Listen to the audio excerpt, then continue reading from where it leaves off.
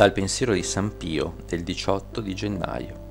Prega per i perfidi, prega per i fervorosi, prega per il Sommo Pontefice, prega per tutti i bisogni spirituali e temporali della Santa Chiesa, nostra tenerissima Madre. Questo pensiero è stato tratto dal libro Padre Pio, un pensiero per ogni giorno dell'anno, edito da Shalom.